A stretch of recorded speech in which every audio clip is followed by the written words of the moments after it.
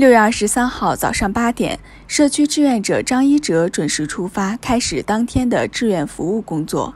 他居住的小区距离北京新发地农产品批发市场不足五百米，至今已封闭十一天时间。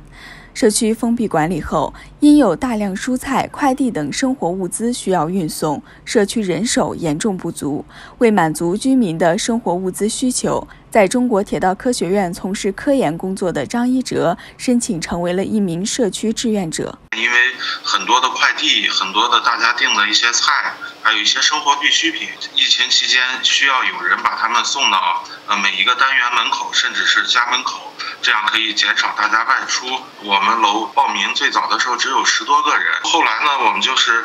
嗯，看到了大家在做服务，看到了我们的辛苦和不容易，慢慢又有很多人加入，在大概有三十多个人。张一哲说，在社区封闭之初，曾出现过短暂的物资紧缺，部分居民也有过慌张和焦虑，但在社区工作者和志愿者的努力下，居民的基本生活很快得到保障。因为我们从十三号开始一早起来，忽然发现小区被封闭了，大家都感到非常焦急，就在考虑我们每天吃什么，我们用什么。大概在隔离以后，呃，第四天还是第五天左右的时候，鸡蛋和水果基本上能满足所有人的需求，蔬菜基本上就是能够满足所有人的需需求，价格正常，而且是货源充足。大家的情绪也逐渐在转好。在志愿服务之外，张一哲还要兼顾居家办公。虽然忙碌，但在他看来，这段特殊时期的志愿者经历给了他特别的收获感和满足感。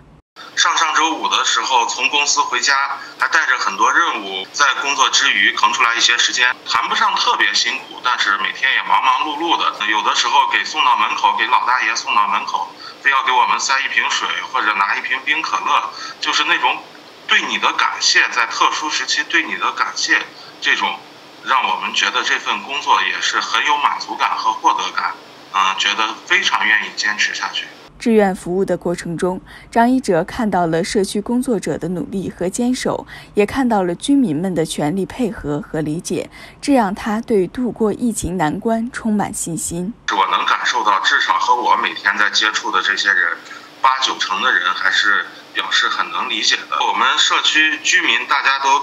尽量的、尽量的约束自己，足不出户。嗯，大家都在积极的配合。我们相信。嗯，这波疫情，嗯，在不久的将来肯定会过去，我们周边的小区也会逐渐的恢复正常。